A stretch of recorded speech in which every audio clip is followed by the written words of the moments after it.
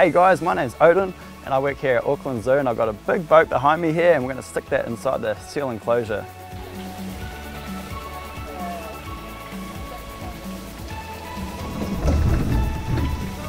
So behavioural enrichment is really important for um, all the animals in the zoo. Um, for us, we like to think sort of as many ways that we can enrich our animals. Um, one of the ways that we have thought of today is actually putting the boat in the pool um, and that's going to be a structure that we can move around the pool. So obviously seals love to swim um, so we want to try and change up their swimming patterns um, and this is one of the ways that we've come up with too today.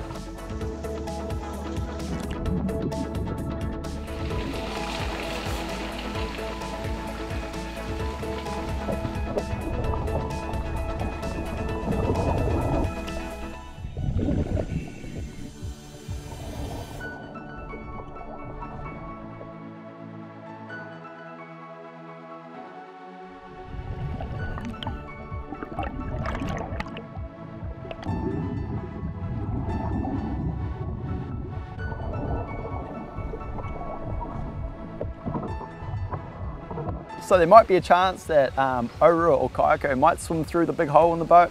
Um, so we'll find out and we'll see if that happens today.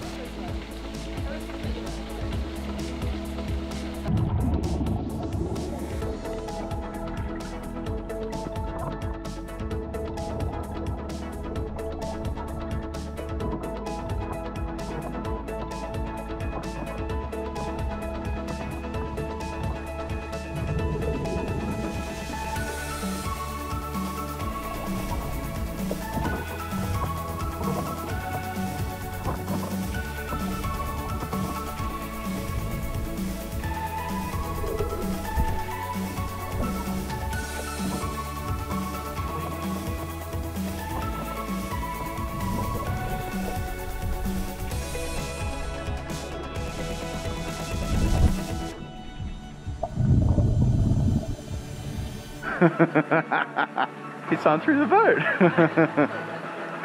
so yeah, I'm really stoked. Um, I'm stoked that went so well that I ended up swimming through it.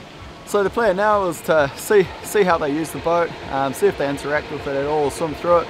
Um, it might change up some of their swimming patterns, um, but yeah, we'll just monitor that over the week and then we might change it around next time we're in the pool.